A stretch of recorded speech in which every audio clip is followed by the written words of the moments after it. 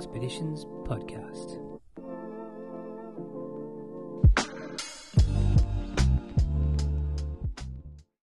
Hey everyone, welcome back to the Inner Expeditions podcast. This is season 2, episode 11. My name's Aaron Harvey. Welcome back. If you've listened before and you're tuning back in, if this is your first time tuning into the show, welcome. It's great to have you on board. We've got a great episode this week. Uh, I'm joined by Michelle Hooper, who is an ultra runner.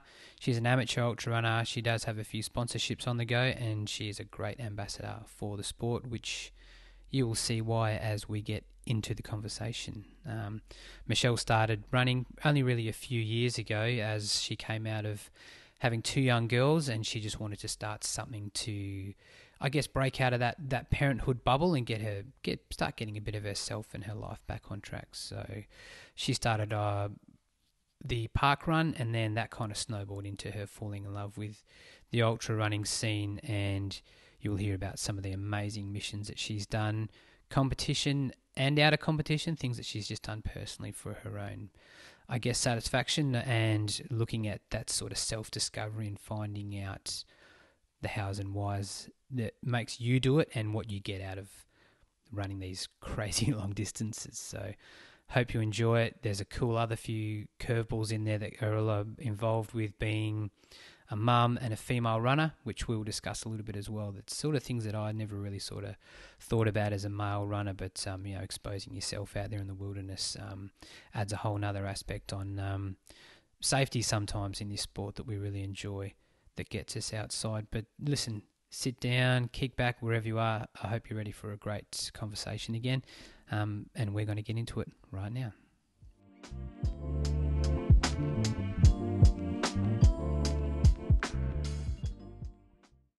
All right, Michelle, we're on. How are you? It's good to have you on. How's your day been? Pretty good, thank you. Thank you for having me. Yeah, no worries. It's uh, I know we've been sort of back when uh, to and fro for a little while since you were up here um, earlier this year or last year. You're up doing some training. Yeah, late last year. Yeah, that would have been nice and warm. I bet. That was beautiful. I want to go back. Yeah, it's cold and it miserable now. I think a lot of people are experiencing that up here at the moment. We're getting, uh, we've got a lot of numbers up here this year. It's been very, very busy. Yeah, I'll get there again. Yeah, it's good. One thing that's good about, I guess, running up the hills in town, up the ranges, once you kind of get up into the range, you get that bit of breeze and the views. It's mm. pretty nice to uh, to keep going and spend time out there. Yeah, it was stunning up there. I loved it. Mm, yeah, it's always good to go for a swim afterwards. If you're uh, if you're around the west side and uh, camping uh, on the ocean, it's pretty good to yeah wash it all off yeah. afterwards. Yeah, we stayed at Osprey Bay, and that was just amazing. Yeah, that's nice, probably one of the best camping experiences I've ever had. So yeah, yeah. definitely want to get back. Yeah, that's that's actually one of our favourite favourite sites down there, and there's some good there's some good little trails from down there too. You would have uh, mm. no doubt found them. Uh, where did we go? Uh, it was the Gorge Loop that I did. I think oh, quite yeah, a few Mandu, times. Yeah, Mandu, that's it, Mandu. Yeah. yeah. that was good. Yeah, I think nice. I did it five times over, so it was just it was a nice rocky, uh, sorry, riverbed section up, and then along the kind of cliff walls back down, and then repeat about five times because I think it's only like a couple of k's from memory. Yeah, yeah, I think it's just like a three and a half or four yeah. loop because you were training up to do to do a big run at that stage too, weren't you? Yeah, I mean, like looking back now too, it was like absolutely perfect terrain. So the rocky riverbeds, yeah. Yeah, totally. Uh, yeah, because I think you were, you were training up to do the Larapinta Trail, which I want to sort of yep.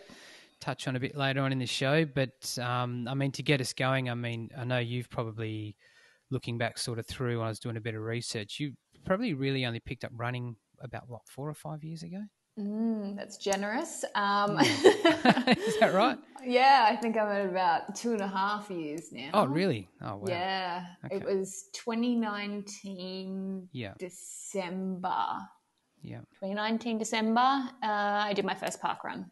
Okay. So it wasn't even like an ultra; it was my first just yeah, run. fully yeah park run. Yeah, I mean that's how it sort of starts. I mean, yeah, where what drove that sort of initial starting that okay, I'm going to give running a go? Was it something you've done yeah. in the past, or something you just decided that you would just do to uh, to kickstart something new? Um, so background on my story, I think in sport. Uh, when I was a teenager, I uh, was heavily involved with track and field. I did lays as a you know kid from about the age of seven. um, all the way through to a high school, and then uh, in high school, kind of found my area, which was uh, the throws events, so javelin, discus, hammer, specifically hammer. And so most of my teenage years was um, training quite heavily, um, yeah, for track and field, national, states, and so on. I ended up representing uh, my country as a junior in the hammer oh, throw wow. twice. Um, and so I guess my start as an adult into running is reflected back in that because I've just always had that uh, not so much competitive nature, but that drive to to kind of be the best at whatever I'm doing. Right. Uh, I ended up stopping track and field just because I, I honestly believed that I got as far as I could being the size that I was, and I didn't want to bulk up anymore. Yeah, because um, I imagine with that sort of stuff, you'd have to you'd have to get a yeah. bit of size up, up top too. Yeah, well, to I was about sixty kilos. Funnily enough, hammer hammer throw is all about um, speed and agility. Obviously, strength is a very important component, but uh, speed and agility, you'll see it in the top throwers these days. A lot of them are tall, uh, yeah. agile, um, Eastern Europeans. yeah. Okay. Right. Yeah. Uh, it's not. It's not kind of what you you envisage envisage a thrower to be. Um, but yeah, I didn't want to get any bigger. I also came to the point where, um, after doing it so heavily through high school in terms of training and um, the commitment to that, I just wanted to have kind of a normal life, to be honest. Um, and so I went through my 20s um, and I had my two girls. I have a six year old and a four year old. And yeah. um, had the both of them and obviously was in the mum bubble as most uh, new parents are. Yeah, totally. Yeah. yeah. So uh, when I was in Perth, when we moved to Perth uh, about three years ago, four years ago, um, when we moved here, uh, I was just kind of heavily involved, obviously, with a new baby. And um, when she started to kind of uh, stop breastfeeding, wasn't so much as reliant on me. Um, I just knew that I had to kind of do something for myself again. And the easiest thing for me at the time with two young kids was popping them both into the double stroller and going for a walk. And that yeah. turned into going for a run, which then turned into me going, oh, this is park run, okay. And so one Saturday I decided to give it a go. Um, and then it kind of uh, it fired up that, I guess, competitive drive in me again. And that was just the start of the end, really. yeah. the rest is uh, the rest is history. You, the rest you is get history, that bug, right? yeah, exactly. Yeah, cool. I mean, talking about the, the whole mum bubble thing, it's you see it a lot, and it's yeah. such a good thing to be able to break that, I guess, and yeah. to get out and to get moving and get yourself. Yeah, I feel like you, are almost like for for mums and that you're almost getting a little bit of yourself back. I guess you yeah. give so much of that time to yeah to being the mum and, and raising the the newborns, and then it, it mm. must be really good a good drive to to sort of break out of that and um and find you getting. I, I guess you're getting a bit of yourself back as well, right?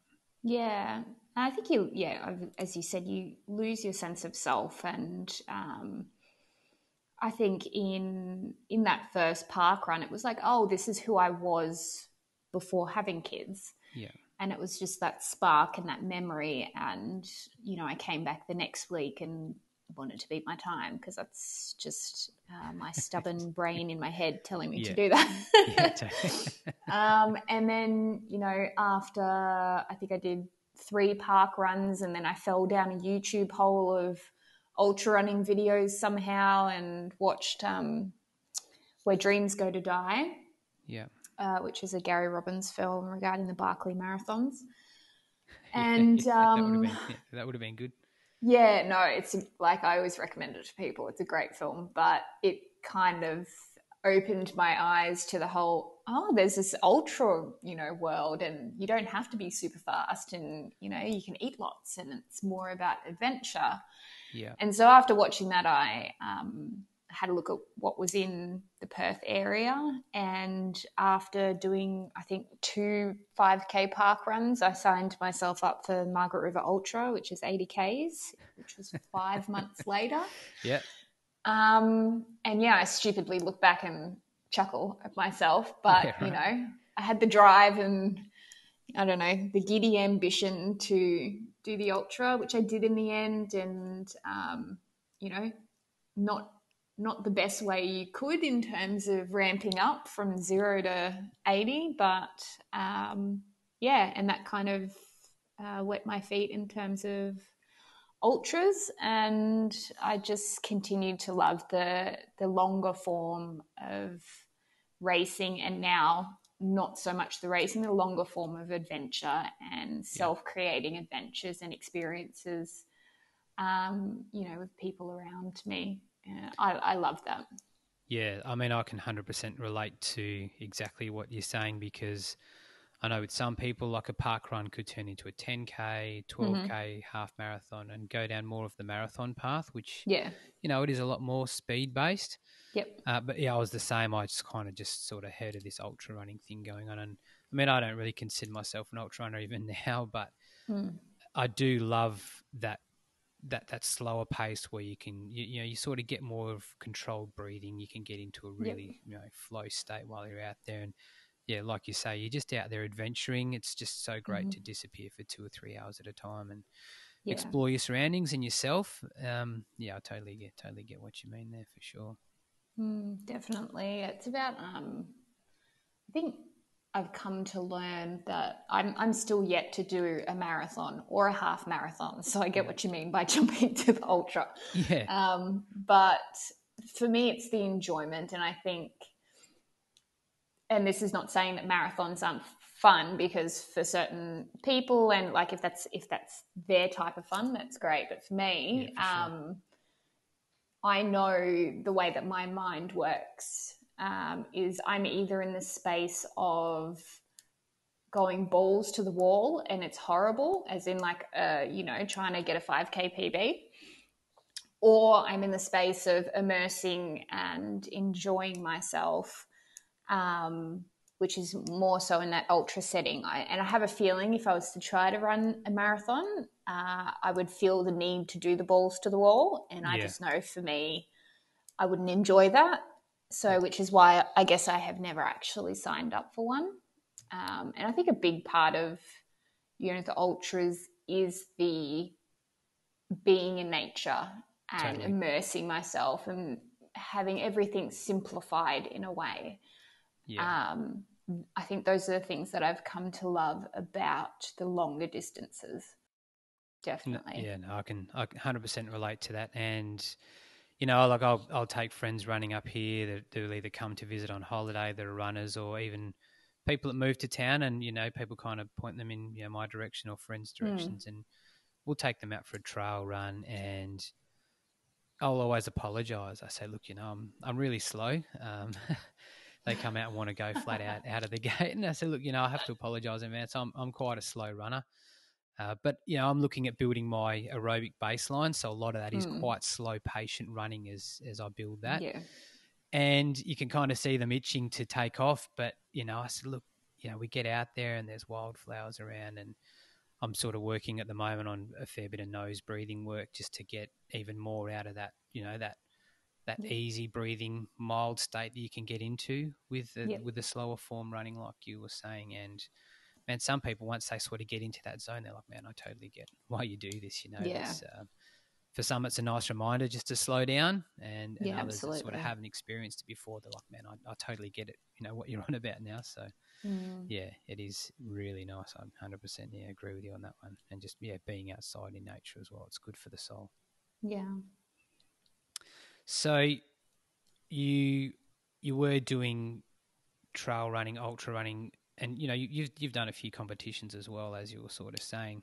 Mm-hmm. Then moved into not so much competition type stuff, but just more stuff for yourself, and you've done a few of those as well. I mean, that yep. just that would be nice as well, just to to sort of change the tone from that race um, atmosphere and surroundings, and just to sort of being outside on your own too. That would be um, nice as well. Hey. Yeah, absolutely. Um, I mean, I love the race day atmosphere. Yeah. Um, and having yeah that vibe and the finish line feels and all of that and whilst i think that's great i, I certainly also enjoy um, as i said just just immersing myself and not having so much stimuli around me when i'm out there Yeah. um, so with the the two main adventures that I've done or missions that I've done, which was Cape to Cape and the Larapinta Trail, Yeah. those are more created. Uh, well, Cape to Cape was created because I wanted to get back to the Margaret River Ultra initially, um, which was my first ultra, and do it properly. Yeah. Yeah. Balls to the wall, right? Yeah, uh, because first time round it was, you know, obviously my first ultra, and there are a lot of mis- mistakes you see in hindsight. So I wanted to give it a crack um, properly with a good build and a little bit more experience under my belt. But then COVID came along, um, and so that was cancelled, and I had been training. You know, had a really good block of training. I was like, well, why don't I just give the Cape to Cape a go? Um, I, I've obviously become really familiar with that trail given that I, I was training down there for the race. Yeah. Um, and so, yeah, it was just, it's just nice for me as well. I think one of my strengths as a person and something I enjoy is um, the planning and preparation and bringing together of people and a mission. So, bringing something from nothing to life.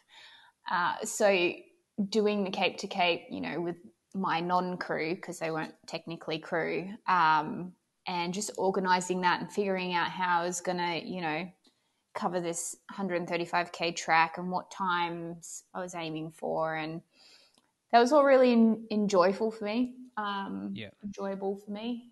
I, I think after that, I was like, this is what I want to do. Like, I want to see the most beautiful tracks and trails with people that are really important to me and traverse across it in a way that's still pushing myself, but that I can immerse myself as well. Yeah. Totally. I mean, do you run with music or anything like that?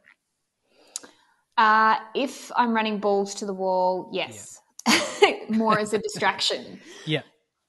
Um, but if it's, uh, yeah, generally longer runs, I'm usually with um, Kat, who's my training partner, Yep. or my partner, or I'm just, you know, I'm just there. So yeah, in that moment, yeah.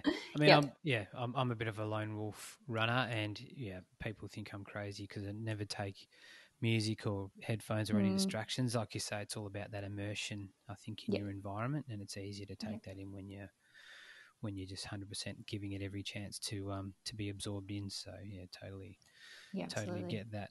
Um, I mean, I know you've you're with the Cape to Cape. I mean, that Mhm. was epic. I think I'd only probably just started following you on the socials about that stage, and I saw that Yep. you were doing that. That was really cool. Yeah. And then you did the Six Peaks thing down on the Hmm. south coast in Albany. that turned into be a bit of an adventure too, from what I saw. Oh Um, man, I have some fond memories of that. yeah, My training partner Kat won't say the same thing, yeah, but um, I don't know. I don't even know how that came about. Um, uh, it was because so my partner he's in Victoria, and um, we had initially planned on going down to do Stirling Ridge Walk, which I think was then closed because of fires. Yeah. Um, and so I was looking in the area to see what what other things I could do in the area. Um, and obviously, you know, beautiful range. And I was like, well, it said all of the peaks are quite short. The tracks they're about uh, anywhere from like two to five k's up and down. So I was like, well, why don't we just try to do six of six of them in a day and see how that goes. yeah. um, and quite naively, because you know Perth's flat and I have no mountain legs on me. Yeah. Um, anyway, so I had again um, done the big spreadsheet and tried to figure out rough times based on um, Strava stats. I guess I could find of people that I knew that were similar pace to me. Because I, I, as you say, you're not fast and you're always apologizing. I am very much the same. I always apologize for the fact that I'm not not a very fast runner, which I've come to learn. I just need to say thank you for being patient um, for sure. Yeah, with my level of running. Yeah. um, but yeah, so we we took off down there and um, we did the six peaks. So the aim was to get up to the top of Bluff Knoll, which is our first peak for sunrise, and then get to the sixth peak, which was Toolbrunup for sunset. Yeah. So that was the aim, and we did pretty well. Um, the very last peak, so Toolbrunup, is quite technical because you have to go over a boulder field of rocks. And I think, you know, if, if Toolbrunup was the first peak or the second or third, it would have been okay.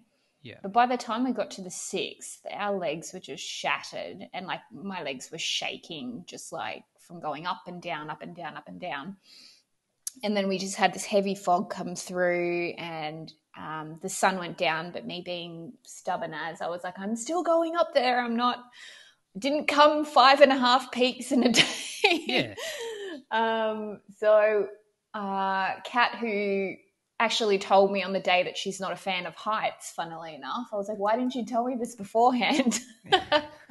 she stayed put and I continued to the summit. Um, and it was, yeah, it was dark, sun had gone down, and it was quite quite scary. And so I called called my partner from the top. Just I had like one bar of reception, just letting him know that we were we were safe um, yeah. and that we had gotten to the top and and then we had to try to navigate down this boulder field on just absolutely trashed legs.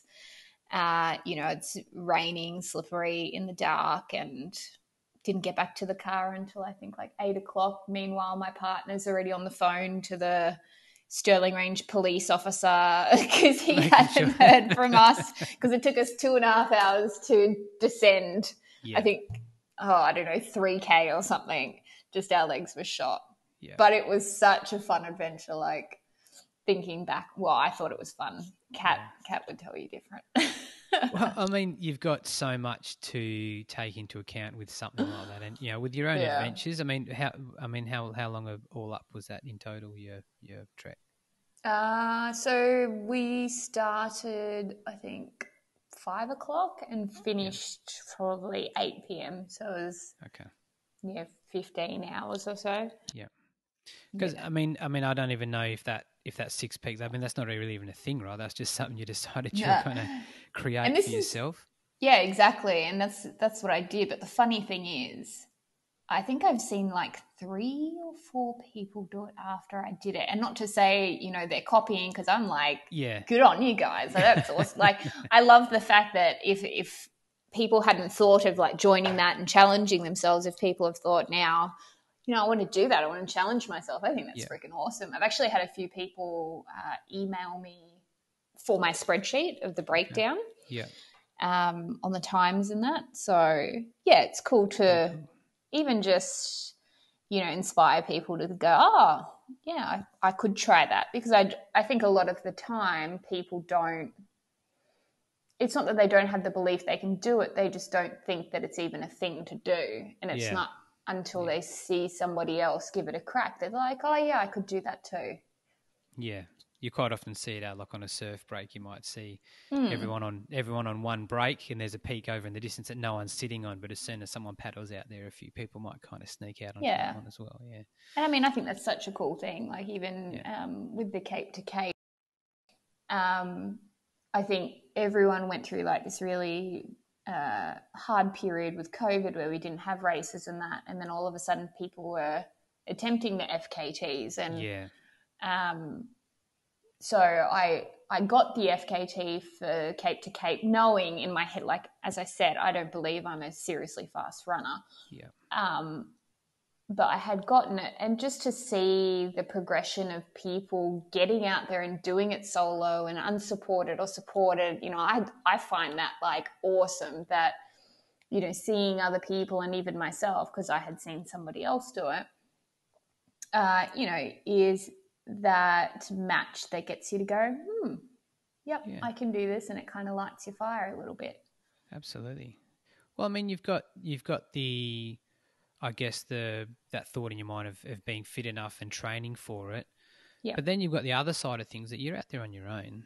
So yeah. you've got this battle of fighting your body to keep going, but then you've also Mhm. got that little thing in your head going, okay, am I Yeah. going the right way? Like, am I doing this Yeah. correctly? So you've kind of almost got this little bit of a fear factor in your head as well because you're Mm. like, geez, uh, am I going the right way? Like, am I lost? So it's kind of like a double, like two two battles you're fighting at once, really. I guess. Yep. I think um with that fear aspect, even though it sounds horrible, in uh, you know, long distance running, it's a good distraction. Yeah. if you, if you're worried about something, you're not focused focusing on like the pain of your body. Yeah. Um, so with Cape to Cape, I had done a recce run, I think, three weeks before uh, with Kat, and the aim of it was to do uh, one of the sections I hadn't done and run as much of it through the night. And so we had started at 10 p.m. and um, ran out from, I think it was Gracetown along the rocks, and it was just the worst conditions like absolutely horrible, cold, wet, windy conditions. And then we're out there, and then halfway through, I think we realized, wow, this is really not great. Like, we're out in this trail by ourselves in the dark. Like, yeah. and then we just went into like this panic mode of, um, uh, I think Kat at one point was like, "There's someone following us," and then like every kangaroo that was in the bush, we were like convinced it was going to come out and attack us. yeah. I look, yeah, I look back on it now and just I laugh so hard because like logically looking back, you're like, that's just stupid. No one's out on the Cape to Cape at midnight, like waiting for someone to run by. Yeah. But yeah, it's that fear is always there, I guess. Um, it's you know something I've talked to or talked about a little bit in terms of um, trail running and being a female trail running and Absolutely. Yeah. having um, ensuring that you take the right steps to make sure that you're safe. So even though like Kat and I were out there by ourselves, like my parents knew exactly where I was running. I had the safety on my phone. Um, I'm pretty sure we had an, an EPIRB on us at the time. Yeah. Um, so yeah, uh, I really try to encourage other female runners, especially if they're in trails by themselves, just to take those precautions. Yeah, definitely. Because it, it- on one hand, you know, you're kind of promoting it on social media, but on the Mm. other hand, you're like, well, you know, Yeah. I'm kind of telling people where I'm going to be on Yeah. my own in the middle of the night.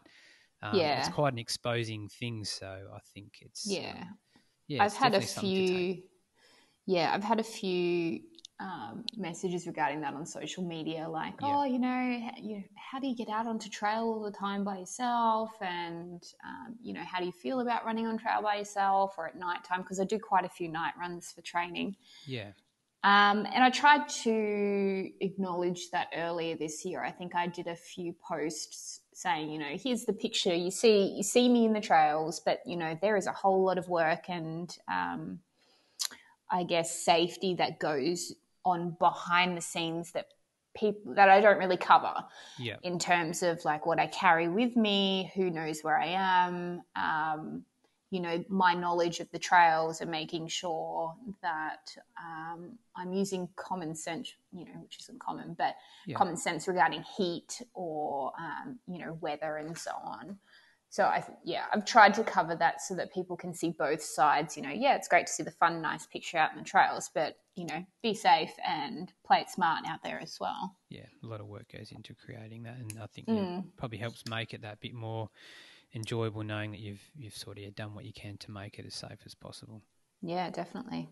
Yeah, it's something I never really took into mind for me. I mean, up here, obviously, in Mm. Male, I go running a lot on my own and late, but it, we're not heavily populated up here. I mean, I th- Yep. some people always ask me how I go with the dingoes and stuff like that, but Mm. I've never really seen them. And I think I've done a couple of runs on the other side of the range where I have seen them early in the morning, but they're never, never fussed, you know, by Mm. by me. But I never thought on the other side of, of you know being a female and running around and I think a friend sort of mentioned it with Strava and those apps where you can quite easily Yeah. share your information. You show that you're doing regular runs in these certain Yep. areas. He's like, you know, you've got to be careful with that stuff because Yeah, um, definitely. yeah. Um, and I've spoken to quite a few of my male friends, in particular my partner, Yeah. um, Marco, who is a filmmaker, about this topic and um, how, you know, as you said, it, it's something that um, they've never really had to think about.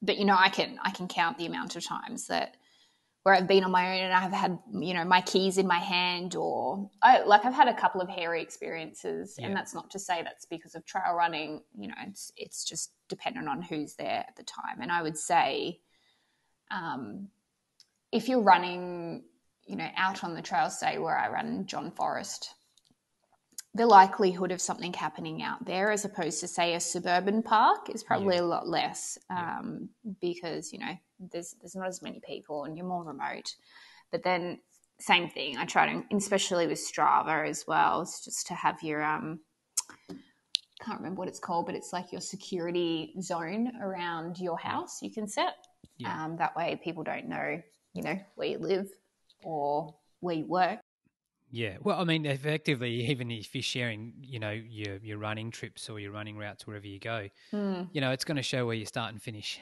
yeah exactly So there must be certain safety um, aspects that can, you know, yeah things you can turn on and off to keep that a bit more, um, a bit more private. Mm, definitely. Yeah, totally. Um, I know, and I think I even saw you. It wasn't long after you Cape to Cape run because that was like that's at like about 123 k's, isn't it? The, the Cape to Cape Yeah. or like that. It's supposed to be, but it, Yeah. and it, it always ends up being way longer when you do when Yeah, you do it. well, I know it's a lot of. I've had friends do the Margaret River Ultra. that- That's a long Yeah. part of that trail, and they said they didn't Yeah. um, take into account for a lot of the sand as well, which really, yeah, which really cooked them a little bit. Just um, really zapped them out. So, yeah. but definitely. um, I mean, you kind of talked about that experience coming out of that. Mhm. You were sort of saying along the lines of, you know, you, you enjoyed the running side of it and pushing yourself, but uh, was it the post that you said you didn't really feel like you'd really had that experience of really being totally and Mm. utterly worn down and, and pushing through those barriers? Is that kind of Yeah. what triggered your thoughts to do the Larapinta Trail and just push that extra distance? Yeah. So coming out of the Cape, um, I think because it was my first go at a distance that long, Yeah. um, I didn't go balls to the wall with that, and I tried to be reasonable in um, my pacing or how I thought I would pace it. Uh, everything went really well for me on the day. It was horrible conditions, but in terms of my body, everything went really well. I never had hallucinations, and because it was, it ended up being twenty five hours. Yeah, that's incredible. So really, I never got to sleep exhaustion. Like I stayed up through the night, but you know, most people have stayed up through a night. Yep, you're tired at the end, but it's not. It, it didn't really get me to the point of breaking down or Like where I thought that- kind of yeah, where I Yeah. thought that I couldn't do it. Um, and so, like, even, you know, 110 Ks, I was still like happily plodding along. Yeah, So when I finished, uh, you know, I was really happy with what I did with the Cape. But then, yeah, I was talking to my partner about it, and I was like, you know, I'd really like to push myself further and get to that point of, you know, um, getting completely out of my comfort zone Yeah. to a space where I have never been before.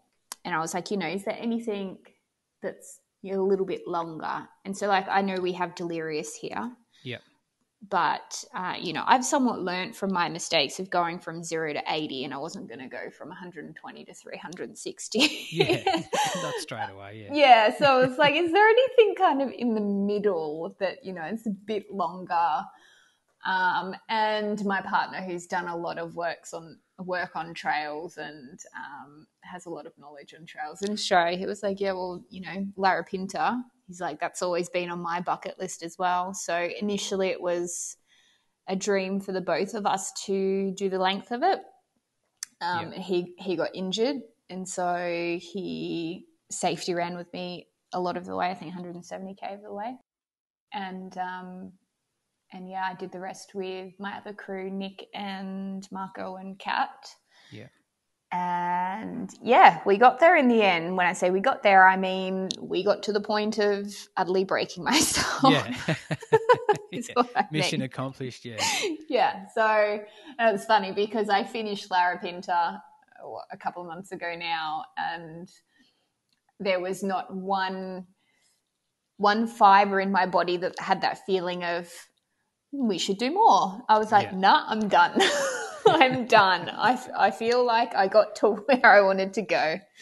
Well, I mean, that's Um, like 220 odd kilometres, I think, up there in the Northern Territory, isn't it? Yeah, so it's some- yeah. so Larapinta is the stats of it. The official stats are, I think, 230 k's with 7,000 meters of elevation. Yeah. Um, but I ended up, I don't, I don't know where I found the extra 30 k's, but I think I ran like 260 or something like that. Wow. so, um, yeah, we we ended up definitely ticking that box of getting out of my comfort zone and completely pushing myself. Yeah, yeah. I mean, because I know I know ultra runners and friends have done Margaret River, and like they're Mm. happy with that. You know, they're happy with Yeah. doing a run, finishing it before dark. You know, Mhm. no worries at all. But then other people are chasing that that that breaking down, and Mm.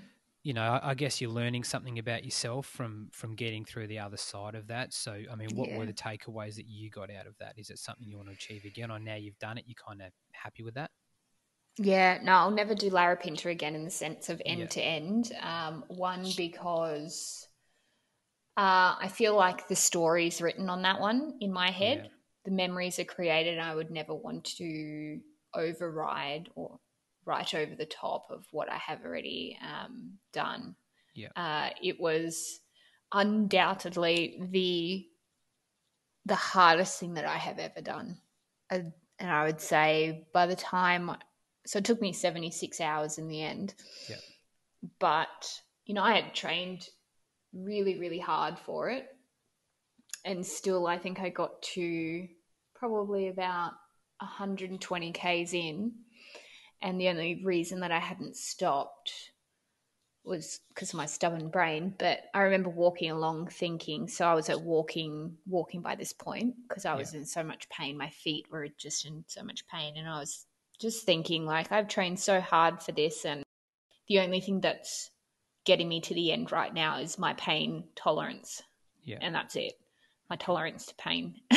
Yeah, right. It wasn't any of the training that I've done. Yeah. You know, my ability to run on the trails or, you know, go up mountains or descend safely. It was just my pain tolerance was was what was getting me through. And it was horrible. The last 36 hours was just me trudging through the desert, up ridge lines, down ridge lines, through canyons, down creek beds, and it just felt never ending. And Yeah. I think what I did get out of it uh, when I did get to breaking point, funnily enough, my first breaking point was about 60 Ks because I had been in the heat of the day, obviously, since the morning we started at sunrise. And then by the time sunset came along, we had been running through the day in, in the flats of the desert, and it was probably 32, 33 degrees. I was just exhausted. Um, and I think what I came to realize at those breaking points are it's the people around me that are so important. Um, all I wanted in those moments were just, you know, the people that were important to be around me. And obviously, my kids weren't there. But it's funny when you do something like that, especially something which is supposed to be solo, because essentially I'm running it by myself, as in, like, I'm the only one running it end to end. But wholeheartedly, that effort, that adventure, that mission, the memories, all of that is completely attributed to the people that I was with and the team. And there is no way, and they beg to differ, but in my mind, there is no way I would have gotten to the end if they hadn't been there. Yeah. No way at all. I would have, I would have, I think, gone off the edge of a ridge line or something like that because I was just completely toast and stumbling and hallucinating and sleep deprived. so you got you got it all in. You you got what you were after. Oh yeah, I've, to I got there? the sleep deprivation. So what was it? Seventy six hours, and I believe I slept a total of. When I say sleep, I mean actually sleeping thirty minutes. I think I had tried to sleep unsuccessfully for about two and a half hours over that period of time. Yeah. But just when you're going at, I guess your body is revved up, obviously, for that physical activity. It's looking back, it's so naive of me to be able to think that my body is just going to want to settle down for a nap now. Yeah, yeah. it doesn't work like that. Yeah, just yeah. I mean, it's I, I haven't yet to experience. There's definitely things I want to start doing later on in Yep. my you know my line of progression for where I want to be when when that time sort of allows. Um, and yeah, it's you know even I've just sort of done shorter distance runs, and you get that bit of pain just right from the center of your legs. It just just radiates out. Yeah. and, I mean, it hurts like nothing you've ever experienced, but it's almost like a badge of honor. You just you've earned Yeah. it, and you just you just love it. You just embrace that sort of pain, I guess. But um, the sleep deprivation and the total um, absolute just mind numbing stuff that goes on from being awake and then not only just being awake but having to push on through that i mean people Yeah. go to different places to get through that but um, it's just such a monumental effort just yeah full credit to you for uh, for Thank putting you. for voluntary putting yourself through that Yeah, well. right. I mean, I know um, your races, you know, you kind of sign up for a race, and I think a lot of them they won't let you back out once you've signed up. So you're kind of in there, and you have to do it. Yeah. right? To out of nowhere, just decide that that's what you're going to do and run it with um with, with no pressure. It's um, it's a full credit to yourself. It's been great to listen, and um yeah, I just can't um yeah say how good it is to hear stories like that. Mm, thank you. Epic. So, I mean, on the back of that, I mean, what's next? Have you got plans for something in the future? Or you, I mean, that wasn't that long ago, so you, I, I guess you enjoy that and celebrate that for a while. But um, Mm. is there anything further down the track you kind of got your sights on to to start getting ready for? Yeah, um, I think I've only just come at, been able to come out of a headspace of um, fully acknowledging what I had have done with the Larapinta. So when it all happened, which was back in May, and then coming back to uh, you know the realities of um, being a mum and working, Yeah. um, it took me a while just to be able to process what happened and and more the reason why I'm saying this is that I think this is a step that a lot of runners and ultra runners miss out on is that processing and the acknowledgement of the effort that has just occurred and not not just in Larapinta like the actual 230 Ks but you know the journey of training before that as well like that is huge for most people like the, the Yeah. journey of training to a marathon or an ultra um, and I really wanted to make sure that this time that I took the time to acknowledge it and not just fill the fill the space and the void of where training was beforehand, where Yeah. it was filling up my life by automatically just planning another race. Um, so I've really taken time to just find that balance again afterwards. And so it's been three months now, and I've had no pressure on me to run, uh, to train. I'm just really wanting that that drive, um, yeah, and the want to get out there to come back naturally instead of me forcing it. Yeah. And I think that's that's how, as an athlete um, or a runner, you know, whether you're elite or not, and I'm Yeah. definitely not elite. That's how you're going to get longevity in this, and that's like that's what I want. I want to be 80 years old, running around Totally. on trails or walking around on trails, and still have that love for it and that passion to get out there and immerse myself. So at the moment, I haven't been really training, and I tried not to think about what's next. Um, I'm just coming to a space now where I've the mind has started to naturally think about, oh yeah, I'd like to do that, and one of those things is MRU, just because I still feel I have unfinished business there Yeah. not so much uh, in terms of um, competing or to get a place or anything like that, but just in my own mind with my own story that I have from MRU.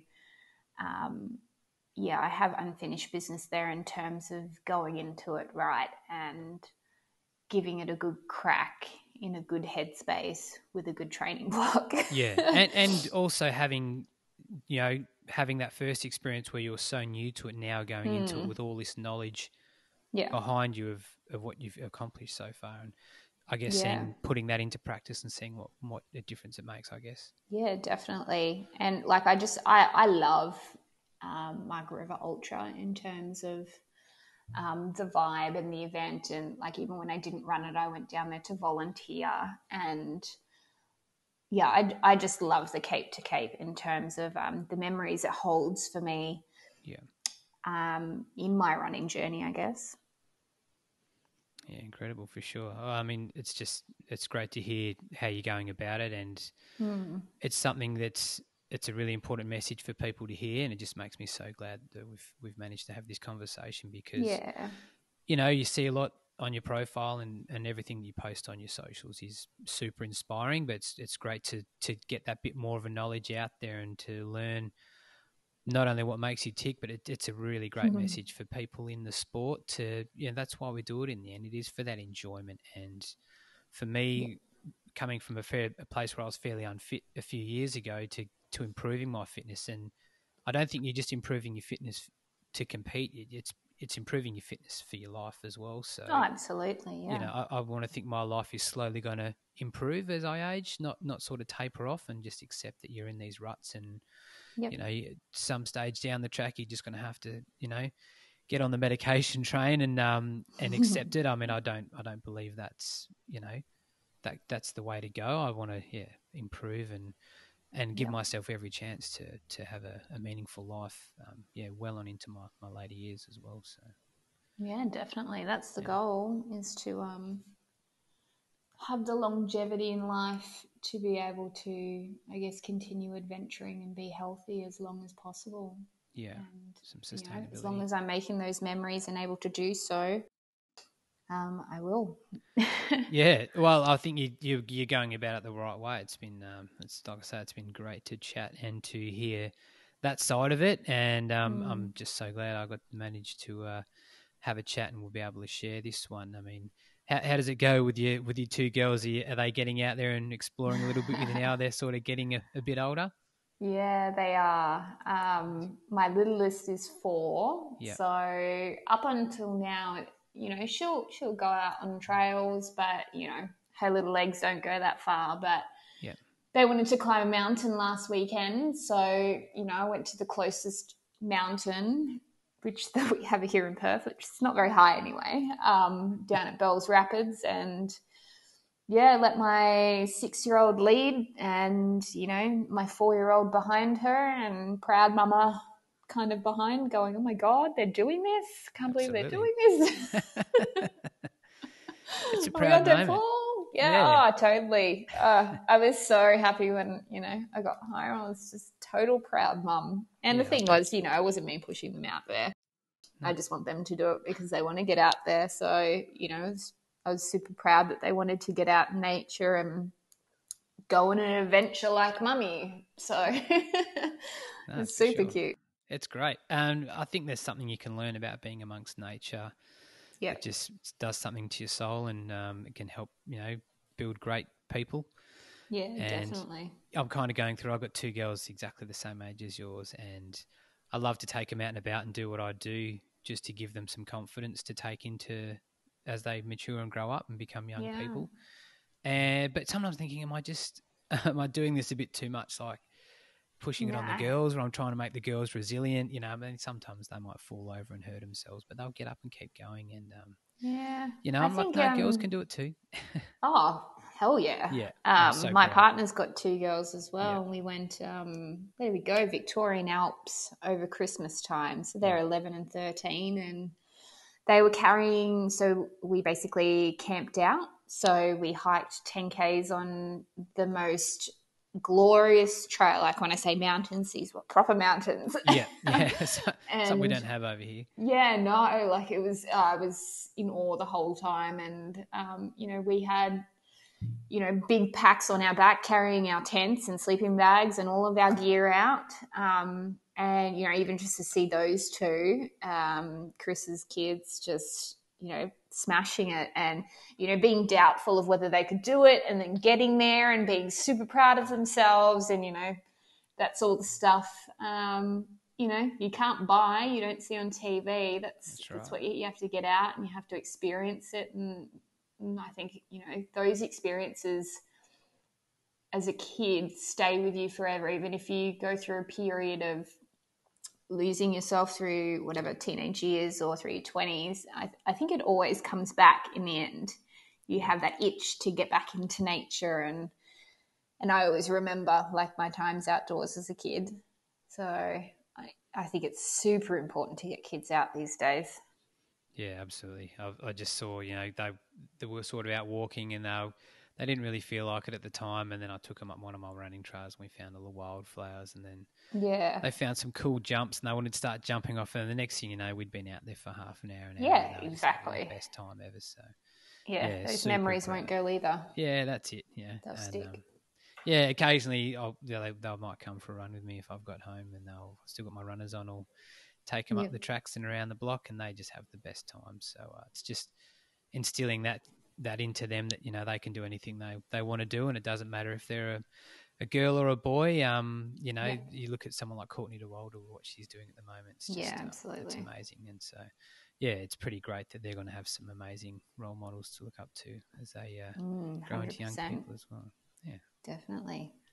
Cool. Well, hey, I think um, I just want to thank you for your time. Um, I don't want to keep you for too much longer on your Saturday, but um, yeah, really stoked to got you on. Um, sometimes, you know, you kind of work out your topics once you start talking, and this one's just been such a super um, conversation. Um, it's just been great to hear what sort of makes you tick Mm. um, and why you do it. And um, I think you're just such a great ambassador for the sport that Mm, we love. you. Yeah, it's great. I know you're an ambassador for Running Mums Australia, which is an amazing page, and they've got a great podcast as well. Um, Yeah. you can totally Yeah. see see why, and um, yeah, it's been great chatting, and um, yeah, I look really look forward to um to what's ahead for you. But um, yeah, it's been great. Thank you for having me. No worries. And now, do you? I know you've got a few of the socials that you you get around on. Um, what's do you share any of your stuff with you running and that with if people want to check out what you're doing? Yeah, sure. Um, I really only live on Instagram Yeah, because I try to simplify. yeah, totally. Yeah, I don't. so yeah, my um, I think I wouldn't even know what my page name is called, but I think it's Mish underscore or dot Hooper. Yep, Mish underscore um, Hoopy. I've got. Yeah, and so that's just gen- my general uh, adventures around when I'm training, where I'm going, what I'm doing. Um, and yeah, I just try to keep it all fairly light and positive Yeah. on there. Yeah, for sure. Yeah, it's it is Yeah. definitely good to watch and uh, and to see what you've been up to, and and even when you're out doing these adventures, the live updates are really cool, and um, Yeah. yeah, it's pretty rad to see what goes on. But um, yeah, hey, look, thanks again. Um, it's been such a great convo. Um, you know, I, I love the fact that uh, with all the great guests we have on, I even get a lot out of uh, of these conversations, and um, Mm. like I say, even that mindset and the reasons why you do it, and allowing yourself time to celebrate and enjoy and let that process go full, um, full 360, I guess, is um, Yeah, definitely. it's a really rad way to um, to look at it, and um, I hope a lot more people sort of take that in mind and use that in their sort of running or their their journey in general. So thank you so much again. No, you're welcome. Cool. All right. Well, yeah, we'll, we'll look forward to seeing what is up ahead. But for now, we're going to wrap this one up. Thank you so much, Mish, and uh, yeah, we'll speak again. Thank you.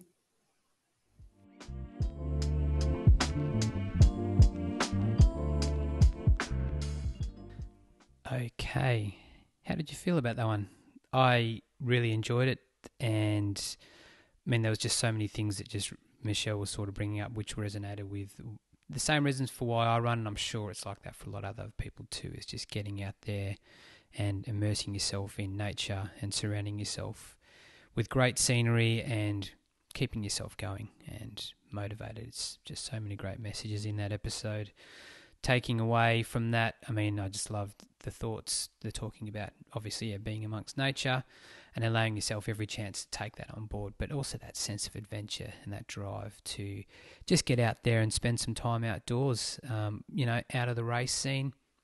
I know a lot of people love the race scene, but I guess in the last 18 months with COVID, it's given the people probably a bit of a chance to have a break from that.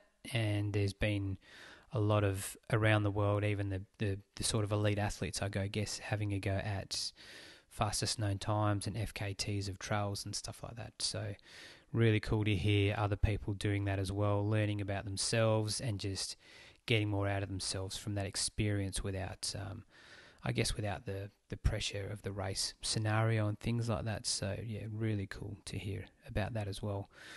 Um, what I also really liked at the end was sort of Michelle was mentioning was just the fact of once she'd completed and that that adventure was over was just allowing herself time to I guess decompress, fully let that that moment pass and then give herself enough time to reflect on that fully and get all of the lessons I guess that she wanted out of that and uh, giving yourself time to go over. I no doubt there would be rerunning that whole trail run in her mind of the Larapinta and where she were at certain times of that run and what it meant and how she felt. That was just really cool to hear that as well. So, some cool lessons in there. As always, there's some great takeaways for me to get out of that as well. And as well as all of those points being safe out there. You know, there's so much about what we do in the sport that we love, but it's also keeping yourself safe. Um, not just for females out there running, but also for the guys making sure you're taking that water, you're slowing down in the heat, and you're not pushing yourself unnecessarily, man. At the end of the day, you're out there and you're loving it. And for me, that's kind of all, that's enough for me. So, but um, I make sure that wherever I go, I do it safely. I do have my phone on me at all times and my GPS warnings and stuff like that. So my family knows that if anything happens to me, uh, that I'm safe out there as well. So, um, look, I think that's a good one. We're going to wrap it up right there. Thank you so much again, everyone, for joining in. Don't forget, you can check out the show. All the links are on my Instagram page. You can click on the link on there, and that will give you my link tree for all of the accounts if you want to listen to through the website or any app. You can also get onto patreon.com if you want to make a contribution to the show. It is always much appreciated. Just go to patreon.com forward slash inner expeditions. Other than that, I'm going to sign off.